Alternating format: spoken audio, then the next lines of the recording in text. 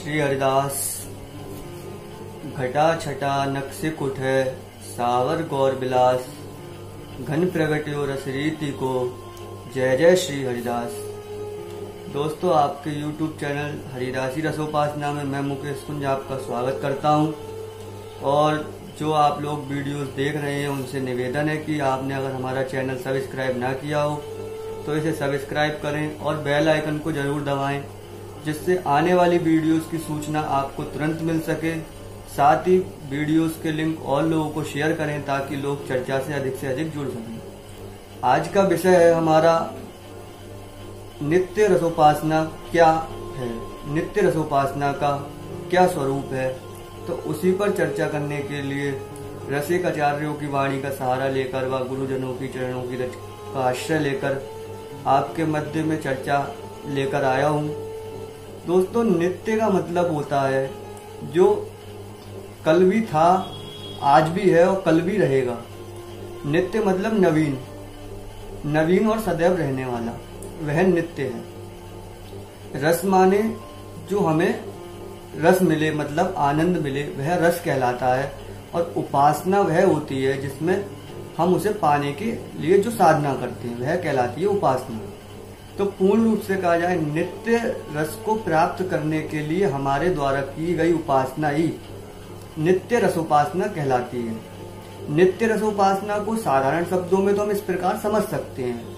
परंतु अगर हम सूक्ष्म रूप से जानना चाहें, इसे थोड़ा रसिकों की वाणी में जानना चाहें तो नित्य मतलब हमारे नित्य बिहारी। नित्य बिहारी जो सदैव हैं।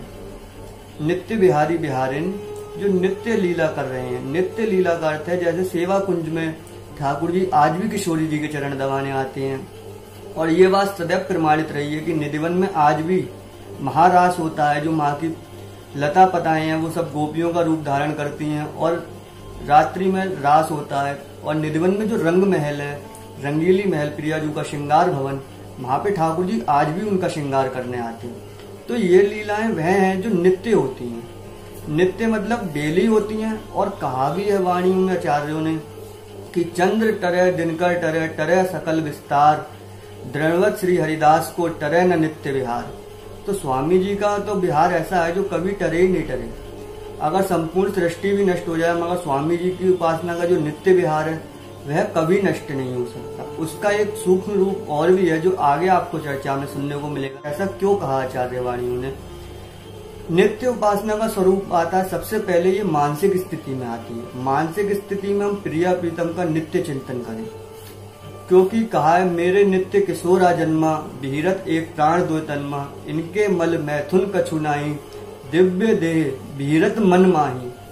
जो इसमें आखिरी पंक्ति है, दिव्य देह वीरत मन माही, ये मन का विषय है। सबसे पहले इसमें मानसिक स्थिति आती है। मानसिक स्थिति में हम प्रिया प्रीतम को अपनात्व जाने। एक वो है उपासना है जिसमें हम ठाकुर जी की महानता के साथ ठाकुर जी की उपासना करते हैं, परंतु इसमें ठाकुर जी के प्रेम की उपासना है। और एक प्रेम की भक्ति ऐसी है जो जीव को सहज सरल बनाती है। और इसीलिए स्वामी जी की रसोपासना और नित्य रसोपासना को सबसे सहज बताया गया है। नित्य उपासना में प्रिया प्रीतम नित्य वृंदावन में, निकुंजों में, वनों में विहार करते हैं। और जो ये नित्य केली, नित्य लीला करते हैं उससे रसिकों को जो रस प्राप्त होता है, आचार्यों को जो रस प्राप्त हुआ, उस रस की उपासना, उस रस को प्राप्त करने के लिए हमारे द्वारा किया गया प्रयास ही रसोपासना कहलाता है। अर्थ कि हम प्रिया प्रीतम के नित्य विहार को जानने के लिए, उसको प्राप्त करने के लिए जो भी साधना या जो भी साधन करते हैं, वह नित्य उपासना कहलाती है। और इस नित्य उपासना का सबसे मूल स्वरूप जो प्रेम की ध्वजा है श्री ललिता महारानी, जिनका कहा गया कि एक प्राण त्रिदेह। श्री प्रिया प्रीतम के निकुंज रस की उपासना में श्री ललिता महारानी वह जो के बिना नित्य लीला कभी पूर्ण नहीं हो सकती। प्रिया प्रीतम को नित्य लाड़ लड़ाना, नित्य उन्हें नवीन नवीन पद गायन सुनाना, नित्य उनकी लीलाओं का गायन करना सब आचार्य सखी ललिता महारानी के सेवा में आता है। तो ललिता महारानी नित्य सेवा में रहती हैं आचार्य वाणियों ने। व संतों ने बताया व अध्ययन भी किया गया इसका, कि उन्होंने बड़ा सरल और बहुत ही सूक्ष्म और विस्तार से बताया है।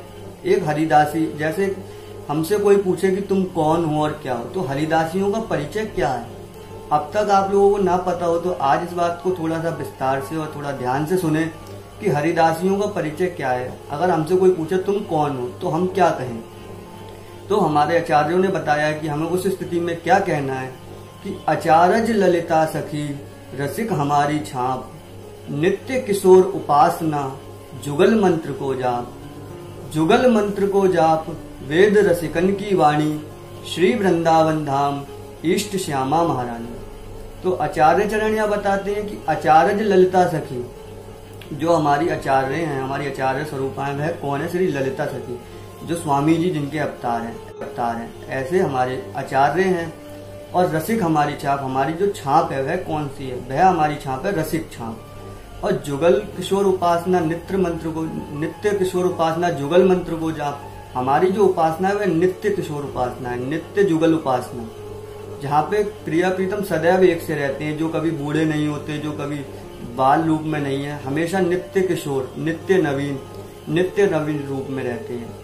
तो ऐसे श्री जुगल की उपासना और नित्य जुगल मंत्र का जाप तो उनका जाप करना और हमारे जो वेद और शास्त्र हैं, प्रेमियों के जो वेद और शास्त्र हैं, स्वामी जी की उपासना, वह आचार्यों की वाणी है, हमारे संतों की वाणी, जिन्होंने हमारे मार्गदर्शन किया, इस प्रेम तत्व को, इस प्रेम रस को, हमें वाणियों के माध्यम से आज समझाया, और बस सारी कठिनाई और सारी सरलता यही है अगर हम अपनी वाणियों का अध्ययन शुरू करें और वाणियों को जानना शुरू कर दें तो हम उस प्रेम तत्व को स्वतः ही समझने लगेंगे और स्वतः ही स्वामी जी की कृपा से उसे जानने लगेंगे। आज सबसे बड़ी समस्या यही है कि हम लोग वाणी का अध्ययन नहीं कर पाते।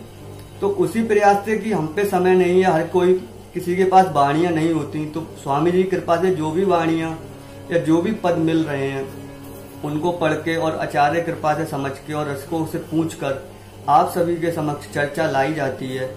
तो इस प्रकार से आचार्य वाणी ने परिचय बताया कि वेद रसिकन की वाणी, हमारे जो वेद शास्त्र हैं, वह रसिकों की वाणी है। और श्री वृंदावन धाम, हमारा जो धाम है, वो श्री वृंदावन, कौन सा वृंदावन? जो नित्य वृंदावन है।